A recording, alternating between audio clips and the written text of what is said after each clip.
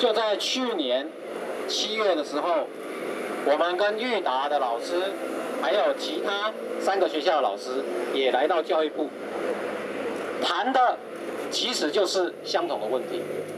第一个，教育部要审核学校提出来的不续聘的这个要求的时候，他事实上完全没有问过当事人，没有让当事人有主张的机会。我还印象非常的深刻，就是在去年的这个时候，跟教育部的官员在这边吵架，说为什么你要做这个行政处分的时候，老师完全没有表达的机会呢？只有你直接看学校提出来的书面，就说可以，就让他解聘了。现在一年过了，我们过去的要求，教育部还是不予理会。有这样的一个行政程序吗？你解聘了一个人，让他没有工作，作为一个国家最后审核机构，你让当事人表达机会都没有，连讲话都没有讲话，甚至连通知都不通知，这样的一个教育部，活该应该被学生冲垮。过去到现在，从来没有看过教育部有这么多的措施，活该。教育部完全的失德，甚至是渎职。有这样的一种教育部，难怪我们老师跟学生都要站出来反对他所有的政策。以下是粤打的老师今天早上给我的他的声明稿，他不愿意再讲任何一句话，因为去年他已经完全讲过了同样的词、同样的诉求，今天再来这边讲一次。以下，裕达科大这三年连续违法之前，老师令老师们不服，明显有四大不合理：一，校方宣称系所赔钱要停招关系，学校却年年有盈余；二，没有经过三级三审的正当程序、效力的正当程序就之前老师；三。学校有老师超重点，还有很多外面的兼课老师，却故意不排课给所谓的超额老师，让老师被之前。四，学校宣称有安置辅导老师转到相关系所，却透过压力要求相关系所不要吸收这些老师，说他们不符合系上的专业。但是学校的多位高层却可以任意的。转调任何系所，年初的时候是董事长，年终的时候变副校长，任教修短系却教授通识课程，用电机博士可以去时尚系教书，学资管的转任餐饮系，完全跟系上的专业部。这种瑕疵早就呈报了，把这种瑕疵校方呈报教育部之前案，教育部只说他们只能刑事审核他的相近学校。通过的完全是渎职，甚至是保护学校。学校高层不敢面对之前教师，更不愿意去系务会议沟通。老师们多次抗议无效，最后只能闭嘴。这是裕达科大老师的沉痛的呼吁。希望今天以后教育部要能够听到各位老师的心声。未来在之前老师学校送出申请的时候，学校。提出来的申请，教育部必须要让当事人有能够表达意见的机会，这是最卑微的要求。教务教育部法制处最近有一个解释，说的还蛮漂亮的。他说，如果教师教学不力，不能胜任工作，违反聘约情节重大，虽然可以解聘，但请各校在处理的时候务必严守比例原则，务必严守正当法律程序。这话听起来很漂亮，可是所有内行人都知道，今天学校如果要解聘一个老师，任何手段都可以行使。为什么教师法要规定解聘、停聘、不续聘教师必须经过主管机关的核准呢？因为法律期待教育部扮演一个严格把关的角色。过去台北市中山国中肖小林老师检举郝龙斌一纲一本违法，并且到法院控告，就立即被以行为不检有损师道解聘。这样的案子非常有趣。到法院就绪的时候，法院说，如果解聘你是不对的，那为什么教育部会核准呢？可见人家核准的很有道理。当监察院调查的结果，中山国中的教评会有非常严重的程序瑕疵，甚至涉及伪造文书的刑事犯罪的时候，中山国中的校方表示，如果我们真的有监察院说的那么多违法问题，教育部为什么会核准呢？可见监察院讲的不对，教育部才对。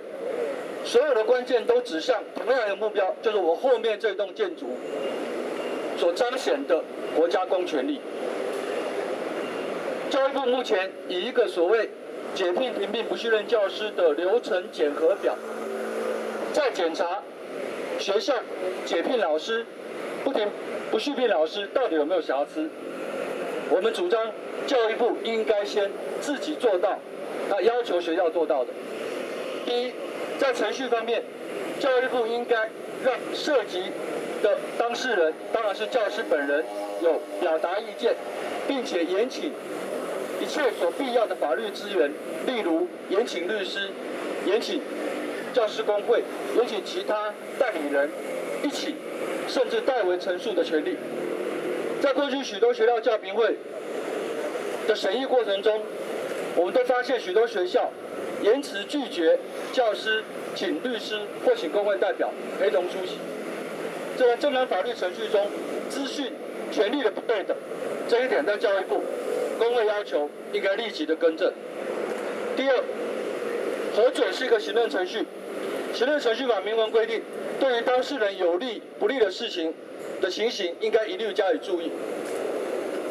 教育部对于学校处分的核准与否，不是单纯的背书，更不是过水，而是必须对所涉及的严重影响工作权的教师，他有利的情形也要一并注意，而不是单纯只相信学校透过书面所表达对教师一切不利的指控。在程序方面的第三点，我们希望在特别特殊的情况。教育部甚至应该自行进行一届的调查，必要的调查，而不是只透过一个检核表，看看学校所呈现出来的事实而已。第二，在实体的层次，工会主张，过去几年已经有非常多高教崩溃崩坏所包装出来的个案，它的类型其实已经非常的明显。刚刚多位老师都提到，无论是现期生等，只重研究。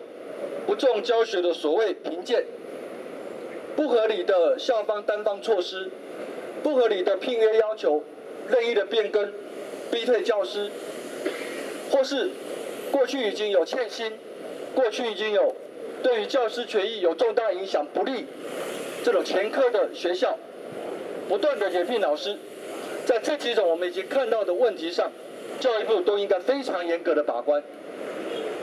最后。关于核准，教育部虽然组成功能的委员会，工会要求功能委员会的组织属性，以及刚刚所提到的许多程序要求、个别的调查等等的权限，都应该重新的建构。只有在个案中明确的表达，不但严格把关，堵却校方任意以不当的目的支遣教师，我们才能够在整个的通盘的。高教政策制度上，从个案的正义走向整体结构性的正义。行政程序法第一百零二条，行政机关做成限制或剥夺人民自由或权利之行政处分前，除一第三十九条规定通知处分相关人陈述意见或举行啊或决定举行听证者外，应给予该处分相对人陈述意见之机会。听懂吗？所以没有嘛？未来要不要啊？哎，我跟各位报告哈，哎，第一第一个，我们我们要两个哈，学校的意见跟老师的意见。可是有一个前提，如果说依照行政程序法哈，如果在这个所有的陈述都已经呃程序完成了哈，我们是可以不用当事人。什么叫不用？什么叫第三十九条规定？行政机关基于调查事实及证据之必要，得以书面通知相关的陈述意见呢？得嘛？得。不是这个，这个是都已经调查，这个是行政行为，行政行政处分呢？行政处分是应的。应给予该处分相对人陈述意见之机会呢？就叫我们要做渎职啊！你小声一点，我也听得到啦，放心啦。我就是怕你听不到，听听得到听不进去。我们要给大家听到，不是只是要给听到。你将来会不会通知嘛？就是程序完。进入教育部，你们会不会通知呢？如果程序完备，会不会乱下？会不会通知啊？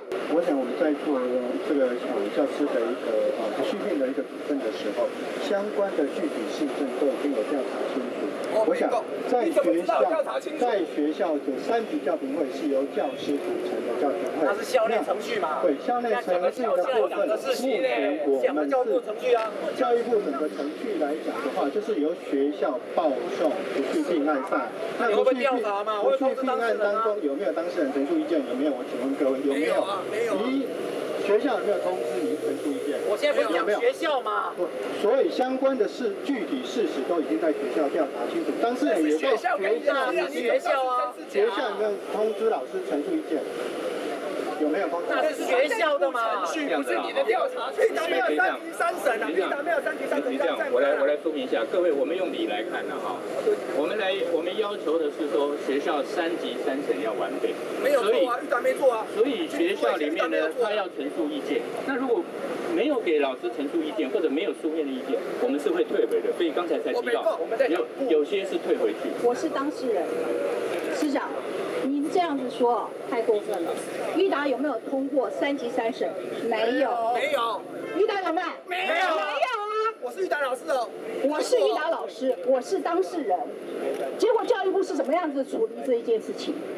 就过了，刑事审查过了，我们就没刑事审查，你们只是看，让学校补充说明，结果做的美美的。袒护学校，保护学店呢？你有没有让老师们说明？没有。学校有没有让老师说明？没有。没有。没有。连新闻都不参加。你们有做到了吗？有在维护这个国家吗？我们在尽力的时候，你们只是在去看这些学店，只是在照顾这些学店。你们有没有在照顾老师们？有没有在照顾学生的受教权？因为我们学校有排定所谓的超额老师，只要求留三位，结果不符合资格的老师，通通都可以给他排课程，就因为其他老师是超额老师不排课。请问这些所谓的有照顾学生的受教权吗？我研究生没毕业，我就被吃钱，研究生怎么办？对，遇到一个研究生还没能毕不了业。为什么在诉愿的时候嘛，你们还同意照原规定？你们有让了当事人说明过吗？给我们一个承诺吧，给我们一个承诺吧。我来说一下。那你请张处长过来。我知道各位呃有一些个别老师哈，我我相我相信大家普遍的嘛，对，我多了解一下。教育部面对的是几十万个老师哈，所以我我很就是说各位给我们意见哦，我们非常感谢。我们从制度上来改善嘛哈。那刚才提到的就是说，诶，除了我们看学校里面哈，三级三审的时候，你们都没有表达意见吗？还是有吧？所以我们有吗？有吗？所谓只是签到就叫做三级三审吗？这是一个。这是你们在认定的吗？再来的话呢，我们就是希望哈，目前我们的这个小组开会的时候哈，我们就会有请，哎，部外的委员啊。那第一个是这样，那未来呢？因为因为各位这样子提哈，我们第一个就是说当事人的书面意见。我们程序上要通知他，程序上我们要做到。你要不要通知他？要不要通知他？没有。这个这个部分发个 email。对，这个希望当事人的意见纳进来，因为不是亲自来哈，我们还是要考虑一下。你最少要有书面的意见了哈。你会通知请他表达意见，表达意见，书面或是口头，当面都可以，对不对？书面或口头啦，都可以，对不对？原则上接受书面。好，我们接受书面。为什么口头？为什么口头不行？不是教育部的会议太多了。你不是说今年只有个位数吗？吗？为为各位好，为了位数吗？为各位好，大家都是工作我跟你讲，我们真的要看意见好了啦，你们才对，能你们表达，你们要的是表达意见嘛，对不对？表达意见对啊，表达意见有两种啊，一种是书面啊，这是个人的选择我们嘛我。们答应是说书面或口头，好不好？你学校在通知老师，学校有没有做这件事？你要通知哦，你需要通知哦，应该是教育教育部要通知哦当事各位人呐。，这一步的行政处分。这个多如牛毛，有教育部你不是说个位数吗？我们我们鬼打墙呢？好，来来来，来说好了，因为不是我主管的哈，我这不是你主管，不是你不是管，你更应该要知道啊。那各位老师，就是说我们我们会通知当事人提供书面的意见，所以没有口头，不能来就对了。口头还是会不讲的不清楚，书面是白纸黑字。我想各位在白纸黑字口头会讲不清楚哦。我想有时候斟酌一下书面还比较对，慎重，您书面提出来。